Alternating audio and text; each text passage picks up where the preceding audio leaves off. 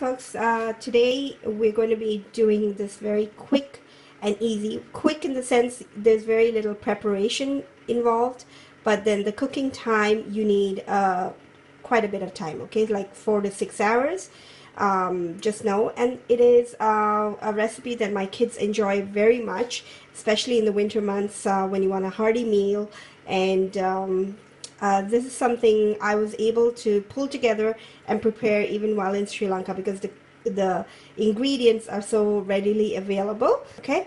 So um, what we would need is um, one pound of uh, ground meat of any kind your protein whatever you like. So I've got ground chicken here and uh, I've had to thaw mine in the microwave so it looks kind of funny. And I hadn't prepared to do this video so I'm, I apologize for the appearance of this.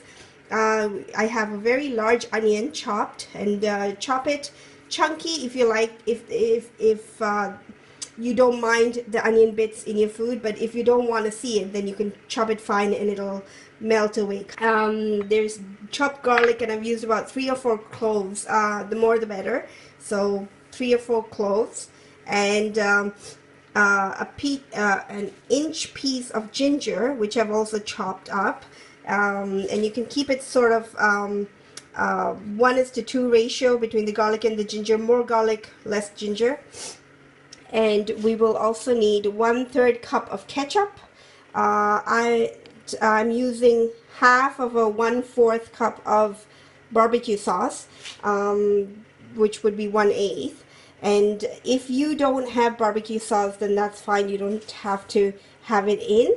Um, a tin of tomato paste, large tomato chopped up. And the spices that we will be using is ground pepper. I have one teaspoon of ground pepper, one teaspoon each of the red chili and the paprika and that's because my chili powder is really really hot so if yours isn't you can use two teaspoons of the same chili powder and uh, three teaspoons of cumin powder. You want more of the cumin because it really does bring out the flavor of chili. It's a Mexican dish and uh, uh, it has more cumin in it. And uh, there is turmeric powder and we'll be using a pinch of that. So for the beans, I have here a mixed um, bean uh, bag that I had. Uh, but if not, you could just take a little bit of different beans, uh, lentils, black beans, kidney beans, fava beans, um, pigeon peas, split peas, anything that you can find. Soak it the night before and uh, I have here after soaking, I'm sorry I didn't measure it ahead of time because I didn't plan to do this, but after soaking I have here about three cups of beans. So three cups of beans to one cup, uh, one pound of meat. Okay, and some salt to taste. So let's start with the uh, first part of the recipe. Okay, add some oil to a uh, frying pan. You want to brown the meat, so just a little bit of oil depending on how much uh, fat your meat has. Mine is not too fatty, but it does have a little bit. So wait for the oil to heat up. And I'm sorry, then add in your onions, garlic, and ginger. And how some people do it is just add everything into the crock pot pot and only brown the meat. But I like to get the flavors going in the onion, garlic, and ginger. I think it flavors the meat and that, that makes it nice. And I guess we're accustomed to that from the rest of our cooking, so it comes naturally to me to do that. But like I said, this is my version of chili.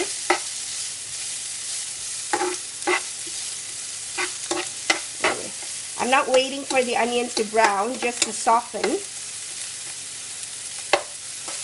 Okay, and then add in your meat.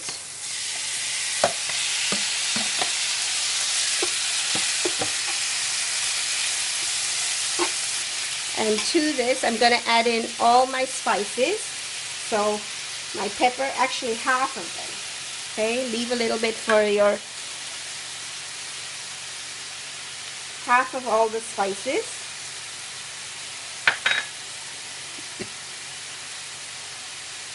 So it flavors the meat and then the rest of it can cook. is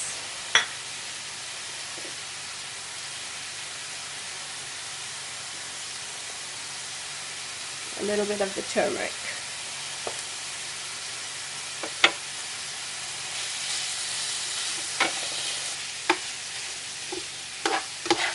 And once the meat is brown, you want to drain all the excess fat if you have lots of it. I'm going to also add in a little bit of salt. And I'll keep in mind that I've added the salt now so that when I'm adding salt later to the rest of the dish, it won't be too much. So this will take about five to six minutes and you want to brown the meat well and break up any of the big clumps. All this will cook very well because we're doing a slow and low cooking in the crock pot you don't need a crock pot. If you don't have one, you can also use a heavy bottom pan. And just make sure you have it on very low flame and uh, a low heat. And you're going to cook covered for about four to six hours. And that's it Okay, so for the next part, I've put in my meat. It drained out the excess fat and um, put in all of that. And then I'm going to add in, this is the easy part where you just throw everything in. So add in my beans. This, uh, These beans have been soaked overnight and so they'll cook easily. I'm going to add in my spices. So my pepper, the rest of the chili and paprika. The rest of the cumin. Sorry for the shaky camera. I'm trying to do this with one hand. Uh, a little bit more of the uh, turmeric.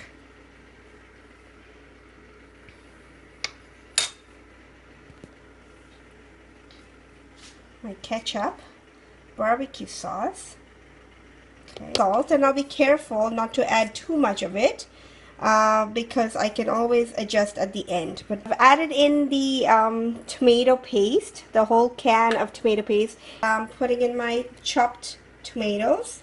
Make sure you get all the juice uh, out of the tomatoes in it as well. All adds flavor. And then I'm going to just top everything with water and just enough water to cover the beans, okay? And then we can always add more, but we can't take it out.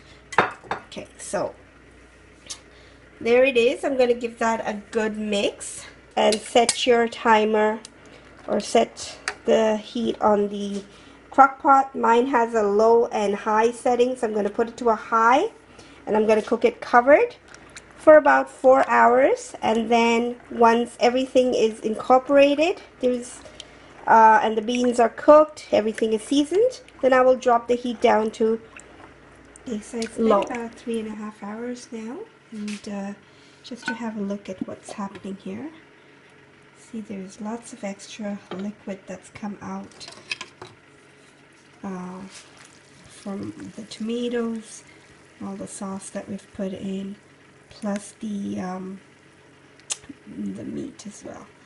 I'm going to keep it for about another three hours or so. Um, two and a half, two hours is fine as well. Like you just want it to be really thick. Um, this is more like it's soupy right now, right? So you need it to thicken up.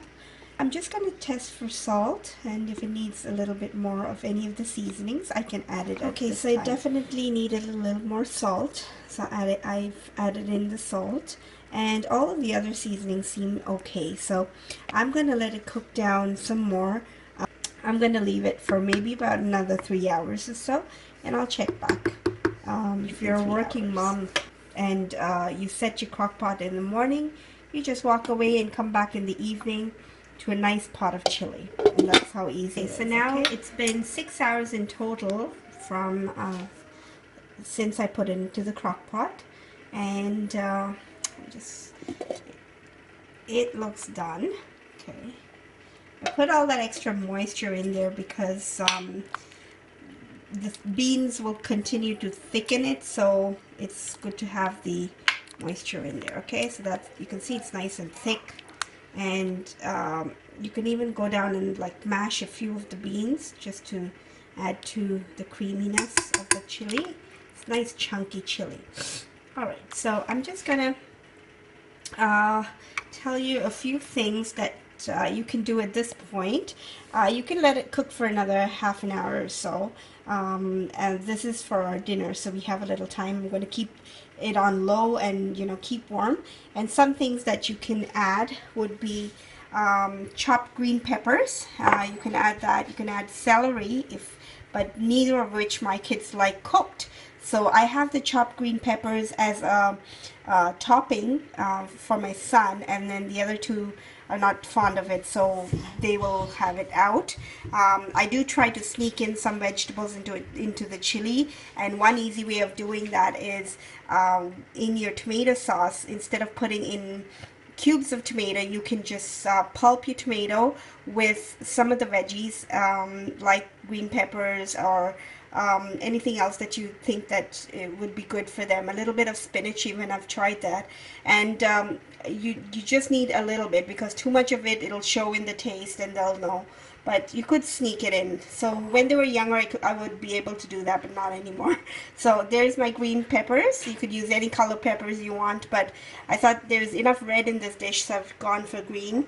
And some uh, parsley. If you have fresh, that's great. I have frozen, so my parsley is here and I'm also going to top it up with some uh, shredded mozzarella cheese or any kind of uh, cheese, not the processed kind, but uh, fresh cheese if you can get some um, as a topping or even Parmigiana, it, it's good.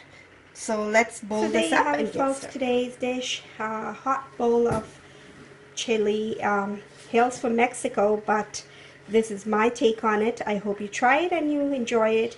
Please post your suggestions, comments, questions, anything that you have below. And uh, if you do need to contact me, you can at sunnylanka09 at gmail.com or like even visit me on my Facebook page, Sunny Lanka Sri Lankan Homestyle Cooking. Don't forget to like this video and subscribe if you haven't. Thanks for watching and stay tuned for more videos from Sunny Lanka. Take care.